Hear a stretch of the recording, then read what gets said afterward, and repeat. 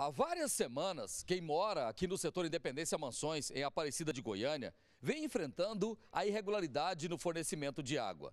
Um dia tem, vários dias não tem e a situação acaba complicando para todo mundo. Por coincidência, nós viemos gravar hoje aqui e a água chegou. Coincidência, a água chegou. Mas tinha quantos dias que você estava sem água? Nossa, na realidade tem mais de mês sem água. Aí chega um dia, E vai embora. Fica o dia todinho. A gente tem que encher vasilha para dar banho em criança, cuidar em casa, fazer comida e olha lá se dá para tomar banho. esses garrafões aqui foram cheios agora há pouco.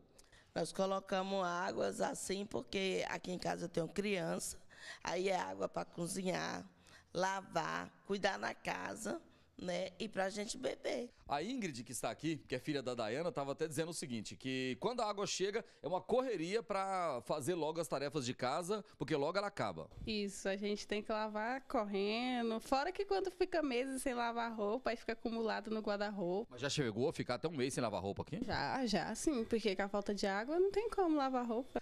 A Claudemira, ela tem caixa d'água em casa, só que tem um problema.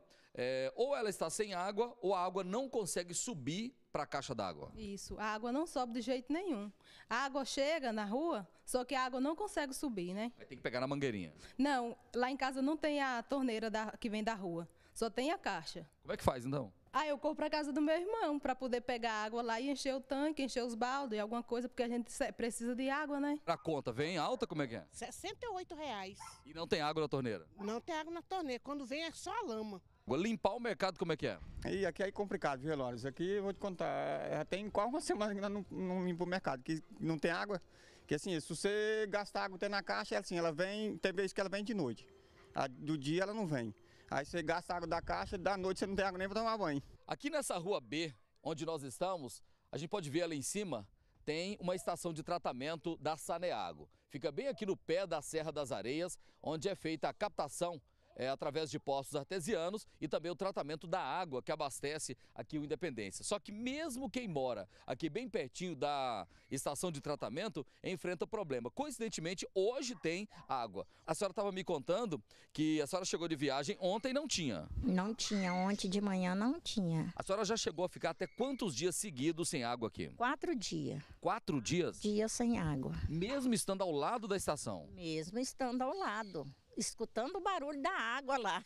E não chega na torneira. E não chega na torneira. E muitos moradores acabam vindo com balde até a estação para buscar água. Na cacunda. Desce isso aqui na cacunda, na bicicleta. Porque como a água não chega nas casas, Eles vão até a água e levam. aí pega na torneira ali da estação. É, eu não sei como que pega lá, que eu nunca acompanhei, né? Mas que eles pegam lá, Ele sobe e volta com a água no balde. com água na vasilha e desce aí.